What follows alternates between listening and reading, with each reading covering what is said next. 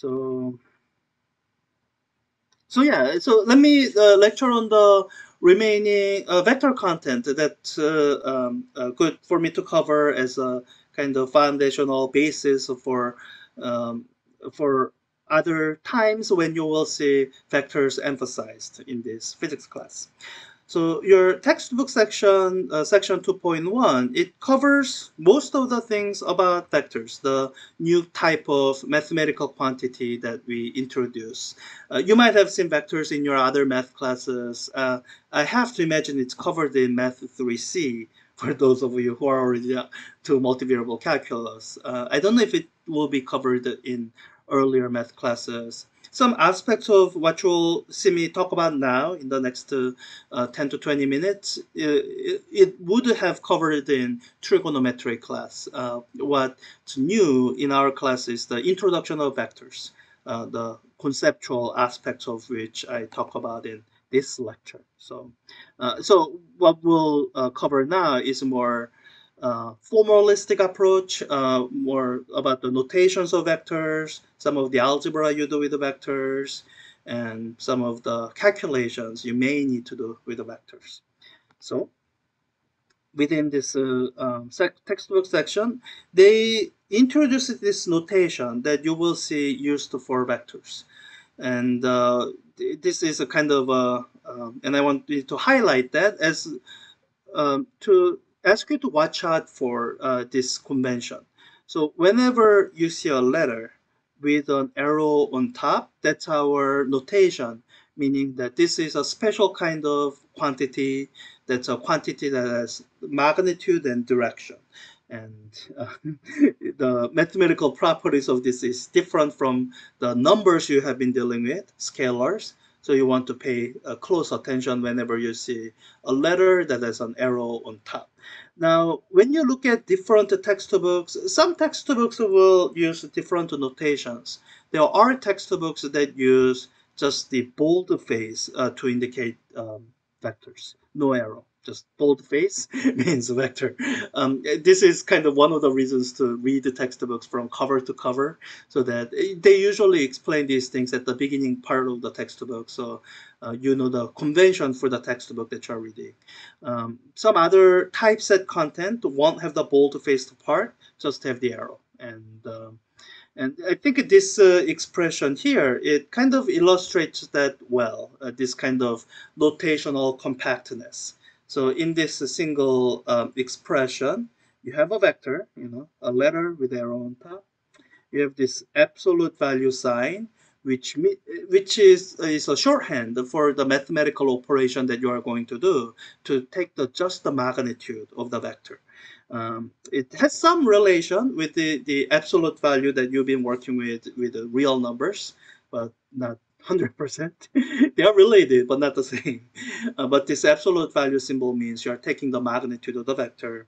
And once you've taken the magnitude, it's no longer a vector. That's why the quantity on the left-hand side, which is equal to that, is a scalar. It no longer has the arrow on top.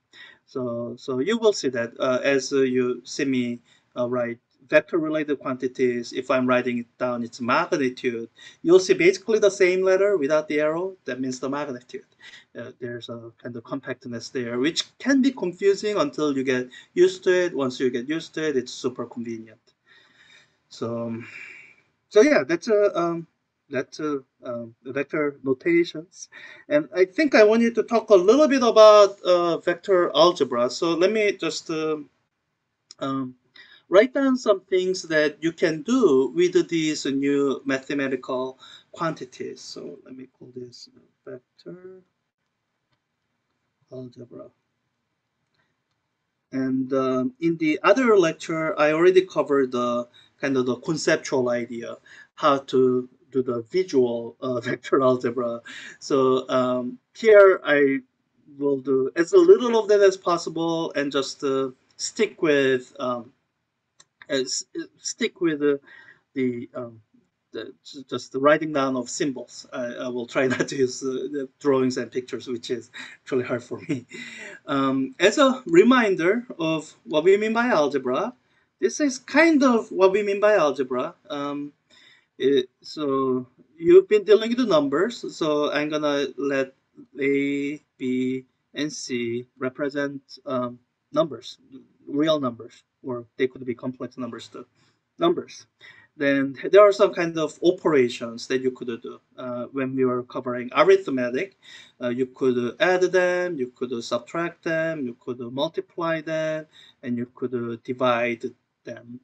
And uh, as we focus more on the more abstract um, ideas in math, I want to want you to start thinking of these operations in a way where this addition and subtraction, they're actually not that different from each other. It's really one operation, addition. And the multiplication and division, they are property-wise, they're actually not that different from each other. So they are just one operation, multiplication.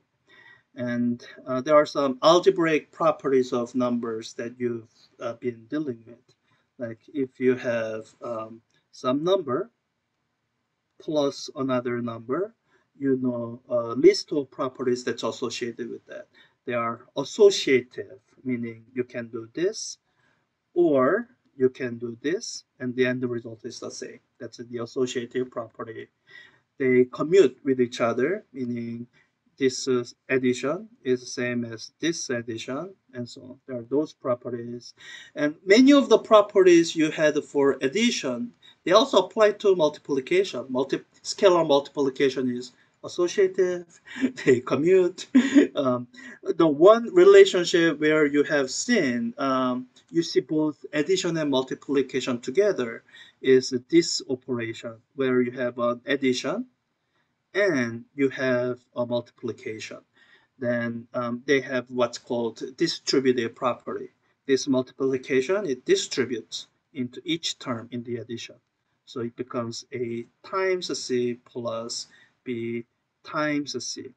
So what makes multiplication different from addition other than the, the, the uh, prior order of operations? One would be this um, distributive property.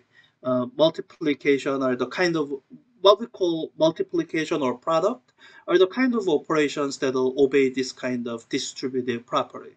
And the what we will call addition. Um, guess in this class we don't have other more complicated ideas of addition that you might see in linear algebra. Um, but um, whenever we call, uh, whenever mathematicians call an oper uh, binary operation addition, they are thinking ahead to some kind of distributive property. If uh, the operation doesn't have this kind of distributive property, they won't call that operation addition. So um, so yeah, th this is kind of the reminder of the scalar algebra that hopefully you feel comfortable with. Maybe not in these exact uh, abstract terms, but um, but it's something that you have seen before. So when we talk about vector algebra, what we are looking at is, okay, so we have these uh, vector quantities. Let's say A, which is going to be a vector, and B, which is going to be another vector, then um, what kind of um, algebra operations can you do with these? And you have seen in the other video that you can do addition. I can do a plus b. And um, in the in the other video, you've seen me add these visually. And if you're trying to do further algebra with these other than just uh, writing this down and calling it C, uh, you kind of need more details about that. Uh, so uh, I will demonstrate in a little bit how to add these by component. You kind of need their component breakdown to do algebra with them in a familiar way. So we'll hold it off until a little bit. And um, let's see, just a few minutes ago, I said I want you to think of addition and subtraction as being the same type of operation. And what I mean by that is if you have a minus b, as far as their algebraic properties go, we can treat them in this way. A plus a vector that I'm going to call minus b And I think in order to talk about objects like this, I need the idea of uh, scalar multiplication. So let me introduce one more mathematical object on this page. Uh, I'm gonna call it lowercase letter c, no arrow on top. So this is a scalar.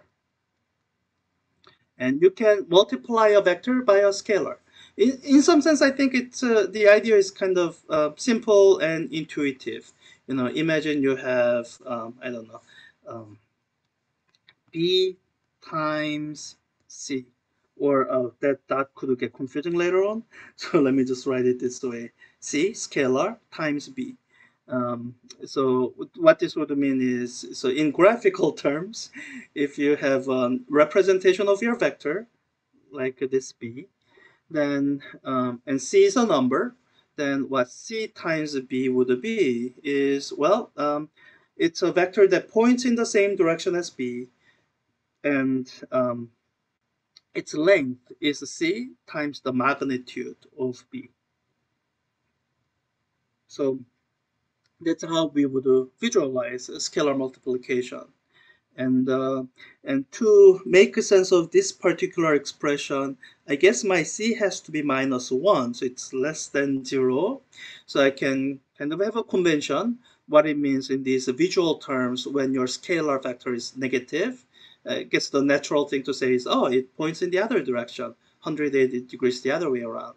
So this would be if, uh, um, so let me just, in terms of length, just say absolute value. Um, this would be uh, where C is negative.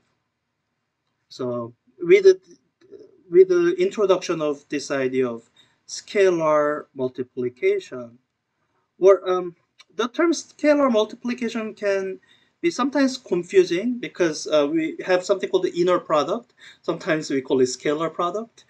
um, so if I want to be super clear what we mean by this, I could say multiplication by a scalar factor. That the two mathematical objects involved in this multiplication is a, a vector and a number not uh, not two vectors, which uh, we are kind of skipping this this week. Um, so. So with the introduction of this idea of scalar multiplication, uh, we can uh, re-express any subtractions we see in this form, and we can treat it like addition. So um, so yeah, I think, and that's the extent of the vector algebra we'll cover for now. Your textbook, chapter two, it does cover additional algebra that, you know, deals with this multiplicative things. They talk about dot product, A dot B, and they talk about cross product, A cross B. And uh, we'll skip those for now and just uh, um, come back to it later as we use these in physical context.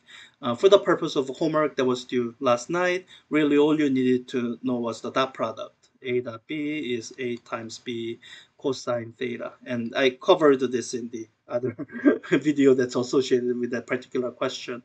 So, so you can look at that. Uh, we'll come back to this. Uh, so the dot product becomes important when we introduce idea of work and energy. So we will um, do a more proper coverage of that product then. Um, until then, these are the uh, product things that we are skipping for now. So, so yeah, since we are skipping the products, really the only vector algebra we are dealing with is addition.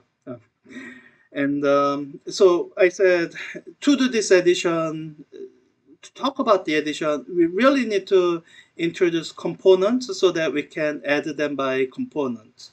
So let me um, use the remaining five to oh, 10 minutes to talk about those vector components. Uh, by the way, there's a PhET simulation that's really useful in visualizing all this and also maybe generating some examples. You can look at it on your own. It's linked from here. It's this vector addition PhET simulation. Um, it's updated version of this simulation. And in, in this simulation, you can kind of um, visualize it for yourself what I'm gonna talk about in a little bit. So you can, you know, drag vectors in here, manipulate it, see how the magnitudes relate to the length of the vector, see how the angle relates to well the direction of the vector and the, how the components relate to these. So um, so these are the things that you can uh, look at. And I guess the it's mostly visually. I hope uh, self-explanatory. The one convention to get used to is the notion that vectors don't change when you translate them. Because um, so this is the what you covered in trigonometry. So in trigonometry, given a point on an xy plane, you've learned to express it in different ways. Those are going to be the components that we are going to talk about. And so, you know, looking at this vector, someone might naively think, okay, the vector ends here. So I have these components, but they don't match up here. And that's because when we talk about vector, we're really thinking of an arrow that starts from somewhere and ends somewhere. And what we care about is that change, uh, not where it ends, just as an absolute quantity, but from where it started to where it ends. That's what we care about. So if we want to kind of have some bridge that connects to what you covered in trigonometry, imagine all the vectors as if their tail is at the origin. Then what the tip is doing in trigonometry terms will match with how we describe vectors. Um, and just remember that uh, when we have two vectors that are basically translated version of each other, um, they are the same. Like for all intents and purposes, they are the same. We treat them the same, even when they are like all you know when they are moved off and translated from each other. So so I wanted to just point to that so that you have something to um, play with and uh, generate additional examples for yourself. Uh, let me just uh, do the remainder by hand. Um, sorry, I didn't manage the time all that well. So let me just uh, quickly sketch out uh, what I might have uh, kind of lectured through more slowly. So this would be uh, uh, vector coordinates. All this discussion is helped by defining a coordinate axis. So an illustration of 2D plane, an XY plane that you have seen in geometry, trigonometry is very useful. And as a reminder, uh, we kind of divide up this plane into four regions, uh, quadrant one, two, three, and 4. And sometimes you might see me uh, refer to those quadrants. If you don't know them, that's fine. You know, that's one superior quality of drawing is that if you draw a vector, then you don't have to say second quadrant. You can kind of see where it is. So, uh, so let me say that this is my A vector. Um, then the vector components would be these two smaller, two, um, two vectors along the x and y direction that will add up to be this vector. So this is my x component of a vector, and this is my y component of the a vector. And um, and when we talk about converting from, so this vector has a polar, you can give a polar coordinate representation for this vector. It has some length a, the radius from the origin that the vector ends up at. And it has some angle, theta, that by convention, we always measure from positive x-axis that the, the, the arrow is pointing towards. So that's the parameters of polar representation. And the Cartesian representation of this point in the xy plane would be uh, these components, the x, and the y components. And the kind of the shortcut that connects these uh, polar representation to the Cartesian representation is the right triangle. Uh, right triangle is what you will see represent emphasized over and over as you see similar types of situations uh, in later content. So it, by right triangle, I mean this triangle. It has got right angle here, and um, there are some inner angles that you gotta figure out. So I have this phi, uh, which is uh, I guess 180 degree minus theta, and um, so with this right triangle, you remember so ka toa, uh, which is the kind of mnemonic for uh, sine of an angle. Well, let me use phi since I'm using phi for this acute angle. Sine of phi is the opposite. So in this case, ay over the hypotenuse, in this case a. And chi is the mnemonic for cosine of phi is the adjacent of the angle divided by hypotenuse. And toi is the mnemonic for tangent of phi is opposite ay over ax. If you remember all these from your trigonometry and geometry class, um, that's all you need to convert between the polar representation and the Cartesian representation. And sorry, I'm out of time to do more detailed examples. Uh, I might do that separately in probably future semesters. Um, but um, what's potentially more challenging is the uh, conversion from um, the Cartesian coordinates to the polar. Because uh, going from the polar to Cartesian, it's uh, helped a little bit by the fact that we have convenient conventions for cosine and sine functions.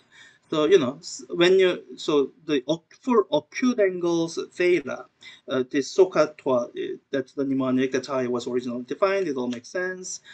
Uh, for angles like, so, you know, uh, angles greater than acute angle. So theta, uh, here, let's call this 135 degree.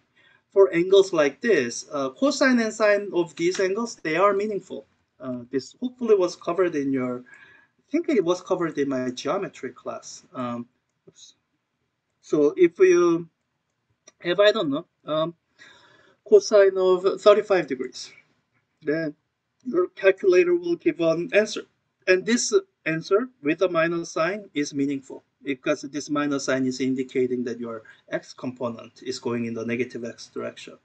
And uh, I can enter 135 degree uh, sine of that. And you get positive of this, which uh, corresponds to your y component. And um, all these other angles, you know, greater than 180 degrees also have meaning, are, are also are meaningful. So if I have 200 degrees, which will give me an angle in the third quadrant, uh, so sine of that now will be negative because it's going in negative. The y component is negative. So uh, going from the polar to Cartesian representation is almost easier. It's going from the uh, Cartesian to polar representation that takes a little bit more care because when we do that, uh, what we use are these uh, expressions the Pythagorean theorem, which gives the hypotenuse, the square root of ax squared plus ay squared. That's not too hard. Hopefully Pythagorean theorem sounds familiar. And uh, what trips up people sometimes is this TOA portion, because we do have this relationship, tangent of theta is ay over ax. So people have this um, um, um, uh, temptation to say, oh, so theta is equal to arctangent of ay over ax. Uh, let me give you a hypothetical where uh, I have a point here with the x coordinate of minus 1 and y coordinate of minus 1. Let me just do the calculation on a calculator. So I have um, oh, that ratio, minus 1 over 1, minus 1, so that's 1 and so I take the arctangent of 1 and I get 45 degrees.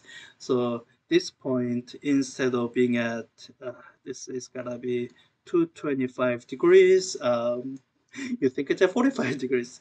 Uh, you have to be careful because um, the inverse trig functions um, are slightly challenging in that you have to restrict their domain to make them into a fun uh, workable function.